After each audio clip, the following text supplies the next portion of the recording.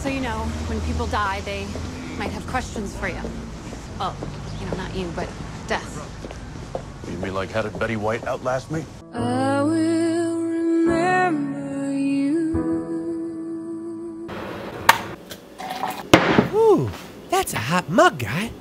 Hey guys, this is my review for episode 11 of Supernatural's season 6, the mid-season finale. This is the episode where Dean becomes death for a day, and it almost has the ability to be actually a very, very good episode. If anything, this is actually a pretty decent mid-season finale, which not too bad to say. Supernatural is at least continuing that trait of decent mid-season finales. Uh, it depends on how we return is really the big question. A lot of aspects about this episode are pretty uh, commendable. Everything from soulless Sam going to the Neuron nth degree to stop his soul from being put back into his body, to Dean and Death getting a second conversation, as well as a challenge for Dean and the implications and the hurdles that he goes through, his own kind of Herculean like uh, series of challenges to try and get his brother's soul back for that purpose. And those are the two focuses Dean being death for a day, and Sam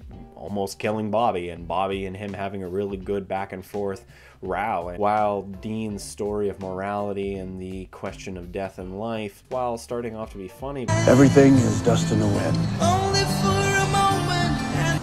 That's it?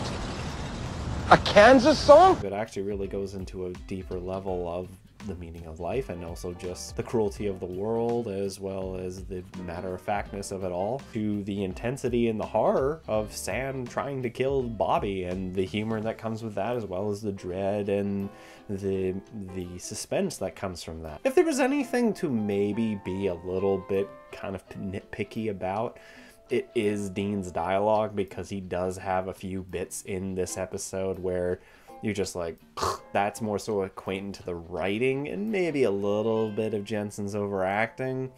But I do find that his conniption with the girl, not wanting to kill her, that does lead to a road. It just takes a little bit of an awkward step. There is a little dip where Dean does take the ring off to save the boyfriend of the killed nurse.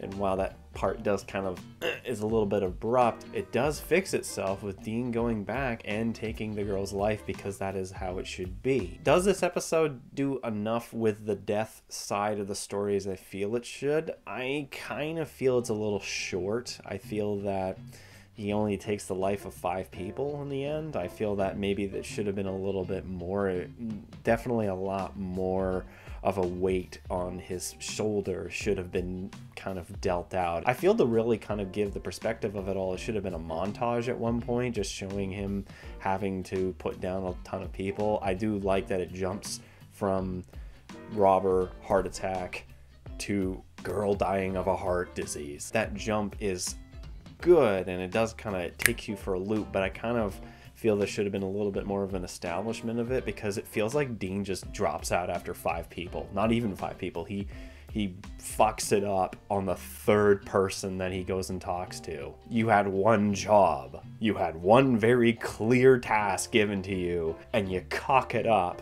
not even before the 10th person or not even before the 5th person you meet. So that is my kind of major conniption is that I feel it comes to this uh, crossroad way too early. But everything else about this episode is fantastic. I love the Bobby and Sam dynamic. I think it's really well done. I like how these two are both good at their own game, but they are working against each other. And there is this back and forth of who is the hunter and who is the prey. And when the episode ends with Sam nearly killing him, it does give you that big woo. And while Dean fails, that whole aspect of him going back and taking the girl's life, making up for his own mistake, is supposed to be kind of the gratifying factor. And I do feel that death gives him a pass for very lukewarm reasons, but he does explain that you guys keep coming back and you guys keep cocking stuff up. So if I don't fix this, you're gonna do something worse. So the episode ends with him shoving Sam's soul back down his gullet, and it ends with him screaming and. We're left on that cliffhanger for a while. And to be frank, I have been a bit harsh on this season, and this episode, uh, in accordance with the last few, have brought back that flavor, that want that drive to me. and I'm kind of waiting for it to be absolutely crushed as the season progresses, obviously. But this was a really decent mid season finale, and I'm going to give it credit for that. So, in the end, I'm going to give this episode a 6 out of 7 it is quite close to a seven. Don't get me wrong. I just feel like I said that conniption, that sort of mm, lacking amount of time passed or challenges passed with Dina's death. Uh, should have been a little bit drawn out. It should have had a little bit more content to it to really fully grasp that hard decision and not make it look like Dean completely fucked the ball on the third down.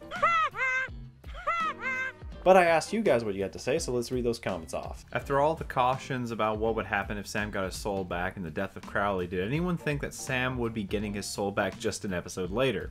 That is actually kind of a thing that we're starting to see, especially in this season. And you pointed that out. I didn't even really realize that. This episode shows the brothers' story. We see Dean rush into his deal with the death, with death, with the idea that he'll be able to majestically save his brother's soul. Simultaneously to that, we watch Sam do whatever he can to prevent his body from containing a soul. Both brothers make deals, both make them do horrible things, and both of them fail. I only have two issues with this episode. The entire Dean being death for 24 hours and how it is played out is pretty predictable. I did enjoy watching it, but I do see it as also being an issue, and I can see where you're coming from there. I like, like I said in my review, I feel like it should have been a little bit longer. There should have been more to it. And the cat and mouse game that Sam plays with Bobby, oh boy, the writers make Bobby look like he's never seen a horror movie before. I don't know. I feel that they did that pretty good in terms of the the back and forth and the, the, the tension in that scene. Sam gets his soul back. We basically see the end of Solo Sam. I like Solo Sam. He was creepy and wrong, but he was amazing. May sound weird, but anytime I can see the embodiment of death means it's usually going to be a good time and, and a bad time for Dean, although. I can't help but feel that Dean learned absolutely nothing because of the way he continues to cheat death for Sam again and again and again, making this episode kind of pointless. But maybe Death already knew that at and just needed a good laugh or something. Also, that Sam Torrance moment was pretty great. Goddamn, I love Soulless Sam, RIP, truly the saddest loss of this season. I do see where you're coming from in terms of Dean not really getting anything. That was evident with how many times that the show was going to get renewed. Like anything that these guys learned, clearly as we can see, never really ever learned. Appointment in Samarra is a good episode. I loved Robert Englund's cameo at the beginning of the, this episode when he does the Freddy laugh. This episode reminds me a bit of a Simpsons Halloween special where Homer becomes death. It was very good when Dean goes around and killing people and then he gets the girl and refuses. And Tessa says, What did you think? It was going to be all cops and robbers and heart attacks? She's 12 with a heart, serious heart condition. And when he doesn't kill her and other people die in her place because she doesn't die the way she was supposed to. Love Julian Richings as Death. I've never complained about him in Supernatural. I love that they get the hint that souls are like mini nuclear bomb reactors.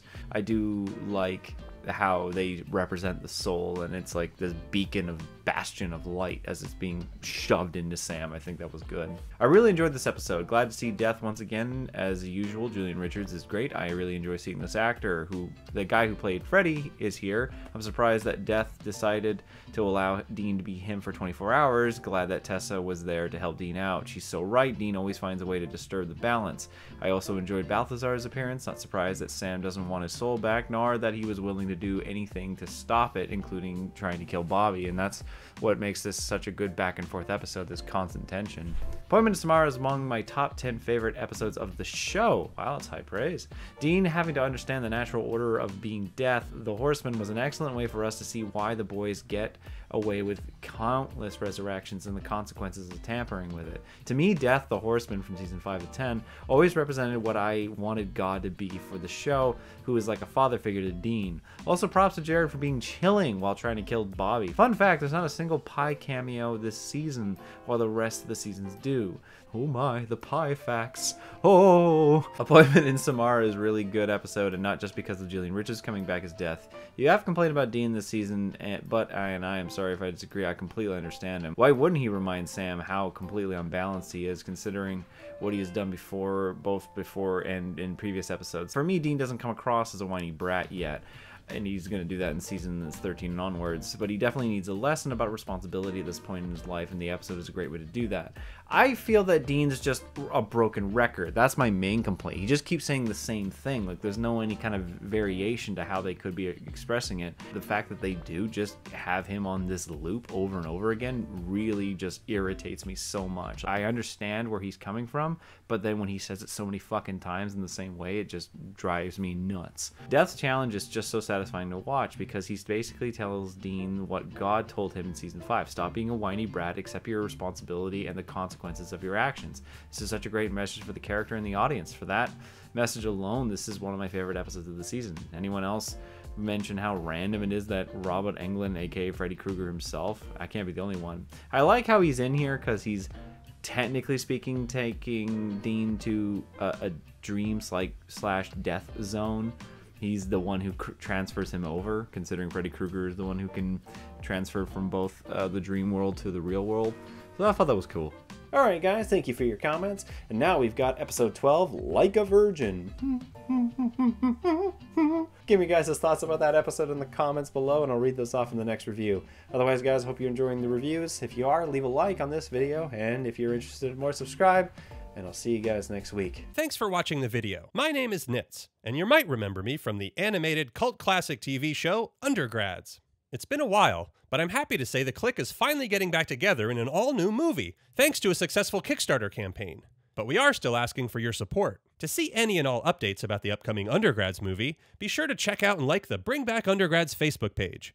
And with any luck, we'll see you guys soon.